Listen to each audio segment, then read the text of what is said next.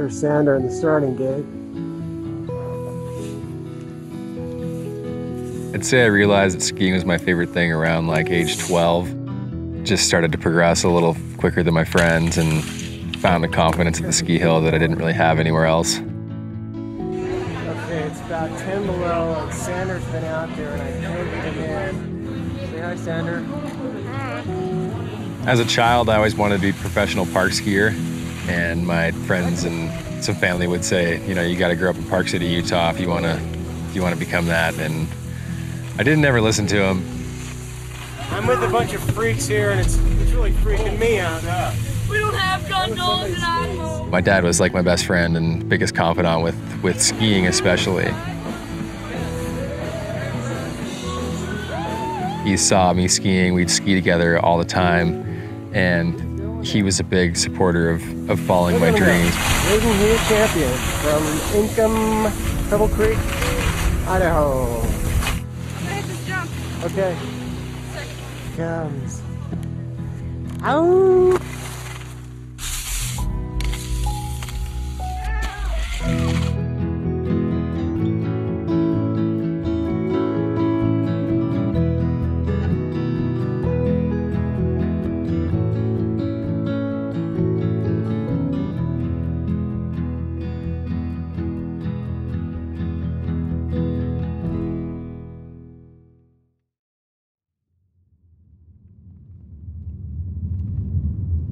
They say that comparison is the death of joy, and I totally agree with that.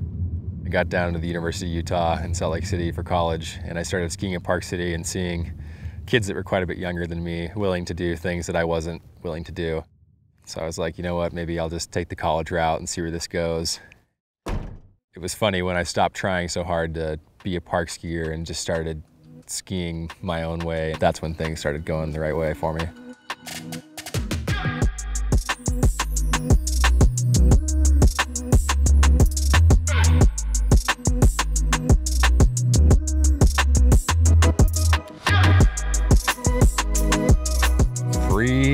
Freestyle skier, I guess, in like more of like a rap sense of like freestyling it. Um, going down the hill, whatever I see, I'm got a pretty low attention span going down the hill. So it's, oh, it's over there, over there, over there, over there. Jump off that and do something off that. Yeah, it's total freedom.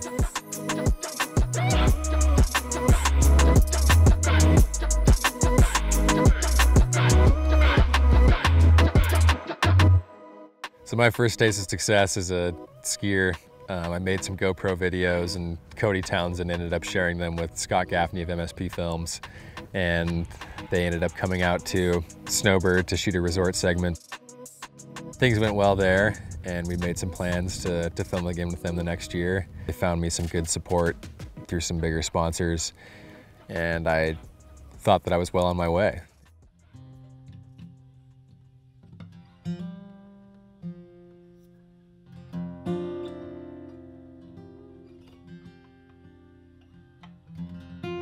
It was a wild winter because in January I became a professional skier.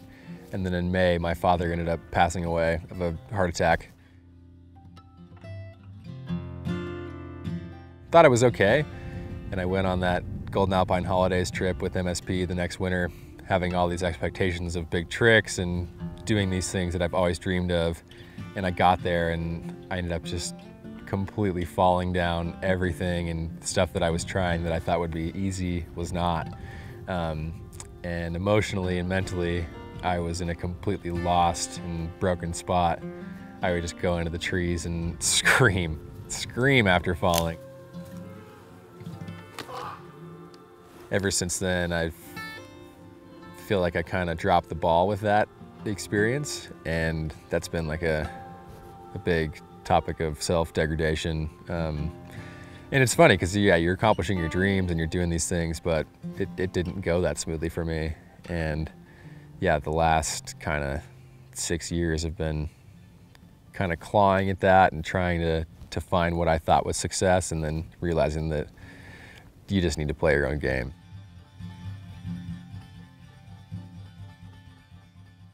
So after finishing college in Salt Lake City at the University of Utah, I stuck around for another year or two. I chose to move home to Idaho. I saw it as a way to get my head back on. I was still in a pretty dark spot after my father's passing, and, and moving home to Idaho was a good way for me to, to do that with the support of my family and friends.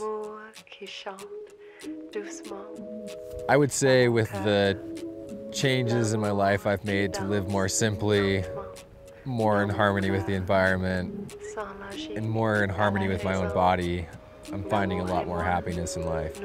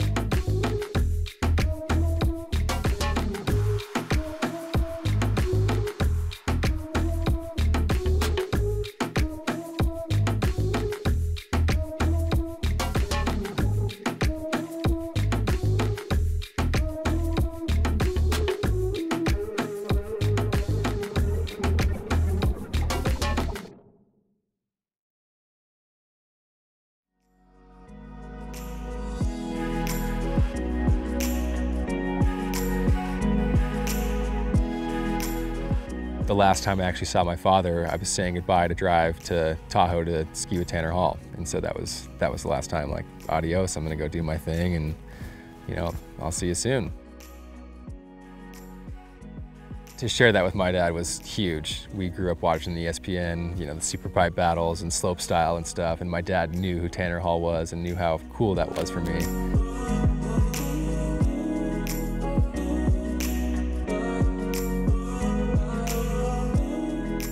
I often try to think of what my father would tell me when I'm having troubles or looking at different potential roads to go down in life.